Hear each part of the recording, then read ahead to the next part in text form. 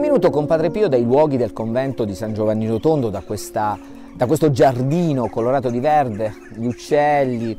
Ecco, sono tanti elementi che ci fanno ritornare un po' al 1904 parlando di Padre Pio, perché nel 1904 eh, lui scrisse un tema dedicato alla primavera, a a questo bellissimo periodo dell'anno che stiamo vivendo, bellissimo per i tanti colori che, che vediamo e viviamo.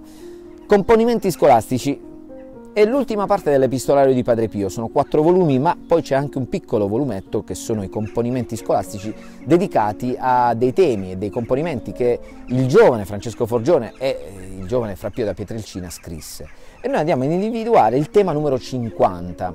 Eh, perché? Perché parla della primavera. Venne chiesto agli studenti di descrivere questo periodo dell'anno. Ecco che cosa scriveva Fra Pio da Pietrelcina nel 1904 a Sant'Elia Pianesi. La più bella stagione dell'anno è la primavera. Il giorno è abbastanza allungato e l'infuocata primavera fa fiorire ogni sorta di albero.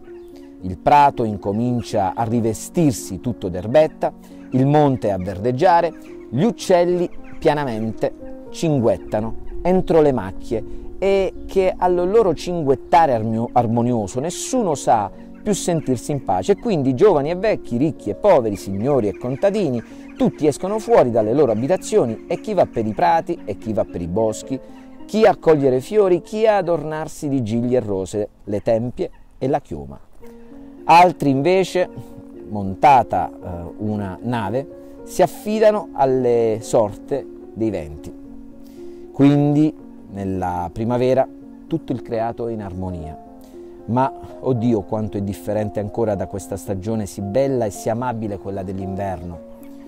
Essa col suo orrido aspetto costringe l'occhio dell'uomo non a guardare in alto, ma bensì a chinarsi alla terra e a tremare. E al contrario della primavera, costringe tutti a restare in casa.